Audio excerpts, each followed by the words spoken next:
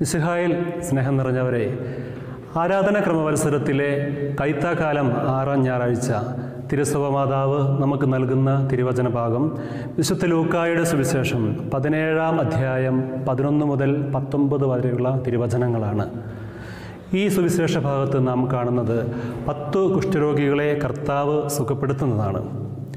യേശുവേ ഗുരു ഞങ്ങളിൽ കനിയണമേ എന്ന് നിലവിളിക്കുന്ന കുഷ്ഠരോഗിയുടെ നിലവിളി കേട്ട കർത്താവ് അവരെ പുരോഹിതന്മാർക്ക് കാണിച്ചു കൊടുക്കുവാനായി അയക്കുമ്പോൾ പോകും വഴി കുഷ്ഠരോഗികളിൽ പത്തുപേരും സുഖം പ്രാപിച്ചു. ആ പത്തു പേരിൽ ഒരാൾ മാത്രം ദൈവത്തെ സ്തുതിച്ചുകൊണ്ട് കർത്താവിന് നന്ദി പറയുവാനായിട്ട് കടന്നു വരികയാണ്. കുഷ്ഠരോഗത്താൽ വളരെയധികം വേദനകളും സഹനങ്ങളും ഒപ്പം സമൂഹത്തിൽ നിന്ന് അകറ്റപ്പെട്ട് മാറ്റി നിർത്തപ്പെട്ട ഇവർ സൗഖ്യം പ്രാപിച്ചപ്പോൾ സൗഖ്യവിതാകന്റെ അടുക്കിലേക്ക് ഈ പത്ത് പേരിൽ ഒരാൾ മാത്രമാണ് കടന്നു വന്നത്.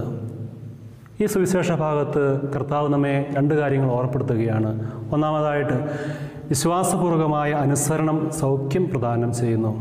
രണ്ടാമതായിട്ട് ദൈവത്തിന് ഒന്നും അസാധ്യമല്ല. പ്രിയമുള്ളവരെ പ്രധാനമായിട്ട് നമ്മുടെ ജീവിതത്തിൽ വേണ്ട ഒരു കാര്യം ഇതാണ്. ദൈവത്തിന് നന്ദിയുള്ളവരായിരിക്കുക. നമ്മുടെ ജീവിതത്തിൽ കർത്താവിന് നന്ദിയുള്ളവരായിട്ട് നമുക്ക് മാറുവാനായിട്ട് കഴിയണം. ഒപ്പം ദുഃഖങ്ങളിലും സഹനങ്ങളിലും വേദനകളും കർത്താവിനെ മഹത്വപ്പെടുത്തുന്നവരായി നമുക്ക് മാറുവാനായിട്ട് കഴിയണം. ഈ ദിവസങ്ങളിൽ സോഷ്യൽ മീഡിയയിൽ പ്രചരിക്കപ്പെട്ട ഒരു വീഡിയോ കണ്ടു. ആതിര എന്ന യുവതി യൂട്യൂബ് ചാനലിലൂടെ തനിക്ക് ലഭിച്ച തുക ഒരു പാവപ്പെട്ട കുടുംബത്തിന് കൈമാറുകയാണ്. അപ്പനും അമ്മയും മൂന്ന് പെൺകുട്ടികളുമാണ് ആ ഭവനത്തിലുള്ളത്. ഈ മൂന്ന് കുട്ടികളും ജന്മന അന്ധരായവരും വൈകല്യങ്ങളുള്ളവരുമായിരുന്നു.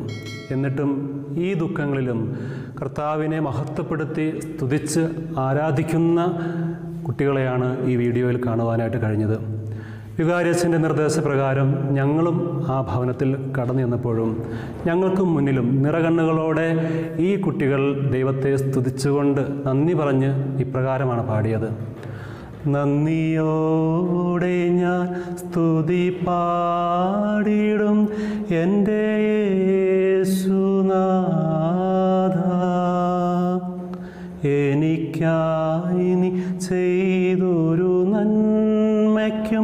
ഇന്നു നന്ദി ചൊല്ലുന്നു ഞാൻ.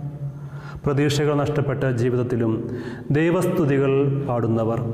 അവർക്കറിയാം തങ്ങളുടെ ജീവിതം ദൈവം അറിയാതെ ഒന്നും സംഭവിക്കുന്നില്ല. തങ്ങളുടെ ജീവിതത്തിൽ ദൈവം അറിയാതെ ഒന്നും സംഭവിക്കില്ല എന്നുള്ള ബോധ്യം അവർക്കുണ്ടായിരുന്നു. പ്രിയമുള്ളവരെ സഹനത്തിലും സന്തോഷത്തോടുകൂടി ദൈവത്തെ മഹത്വപ്പെടുത്തുവാനായിട്ട് നമുക്ക് സാധിക്കട്ടെ.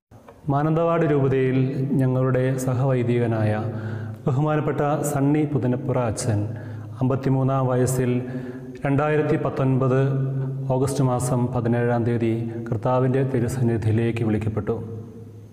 അദ്ദേഹത്തിന്റെ എളിയ പൗരോഹിത്യ ജീവിതത്തിനിടയിൽ എട്ട് ഒൻപത് വർഷക്കാലം വിവിധ രോഗങ്ങളാൽ രോഗശയ്യയിലായിരുന്നു.